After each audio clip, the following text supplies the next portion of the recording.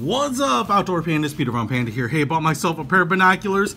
Uh, you know, a pretty affordable set by NexGadget, 10 by 50 for everything, including uh, apparently watching F-16 fighting falcons, or lovingly called the Vipers by the pilots. Uh, really has nothing to do with that, but I guess uh, there's some tactical, like, things on the box, but, you know, just for me, for creeping around the neighborhood and spying on people, bird watching, you know, taking out insurgents. Comes with instructions. Thing moves out, kind of swivels out to fit all your eye, uh, just different pupillary distances. Kind of standard binocular format. And here it is, comes in this nylon pouch finished material, but pretty rugged. Looks like there's a little vinyl strip over here.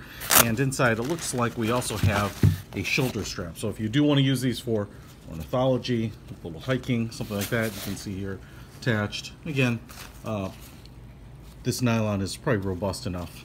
It's kind of like day pack type of webbing. So you can adjust that and throw it over your shoulder. And then inside, we have the binoculars, not monoculars, you have two oculars. So there it is. That's cool. I like it.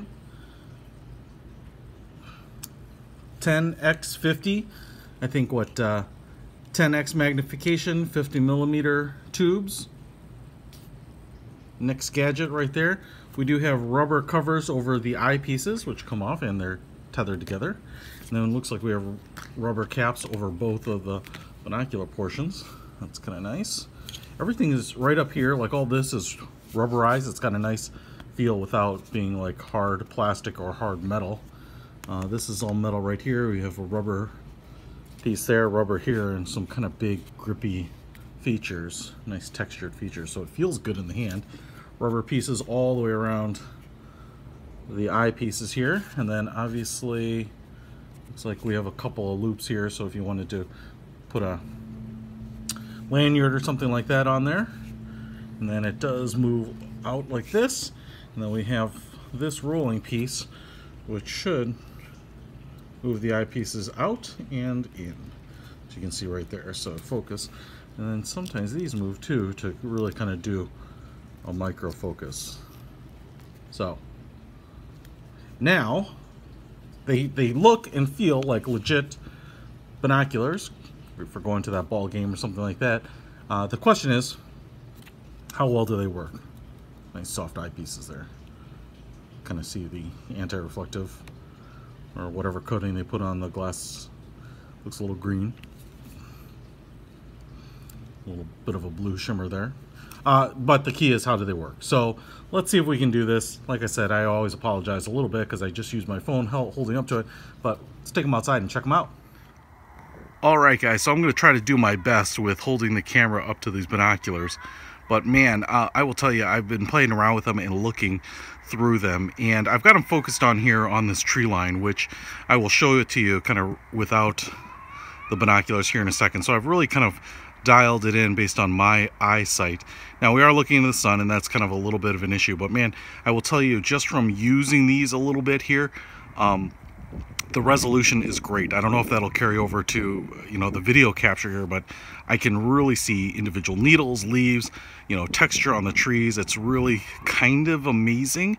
And the other thing I will tell you, at least in real life and real usage, the color representation is super accurate. I mean, it, you know, I tend to look through things like, you know, some of my old binoculars and binoculars and um, even, you know, ski goggles and everything else. And because of the coatings, you tend to get a little bit of a tint or a color shift on it, but nothing on this. It really looks exactly like, you know, what I'm seeing in real life without the, the goggles or the binoculars. Now, you can focus these using the macro and the micro focus to kind of hone in, say on that second tree line behind it. But I just kind of wanted to show you, I don't know if you can see it there, but just really unbelievable. And so here, I'll show you kind of in real life. This is what I'm seeing without them. And obviously you're not going to get any of that detail right without those binoculars and you can see here I was shining almost looking right into the tree I could probably looked over here a little bit better we'll see if we can get some footage of that uh, without the sun blocking our vision so much or interfering with our vision. But um, just really, really great uh, for a pair of you know affordable binoculars for your trip. I think the um, it's always taking my camera a little while to focus. Uh, I think these will be great to take on your trip. You know, these will be perfect for your bug out bag, for your backpacking trip, for camping, for a day hike. Uh, you know, pretty awesome as you can see there. Boom. You know, much better than the human eye. You can see it's taking a while to focus now back, but um, I really like them. I'll put a link to them in the description, but uh, really impressed with these binoculars. I mean, they feel great, work well, and I gotta say, I like them. I like them a lot. Peter Von Panda out.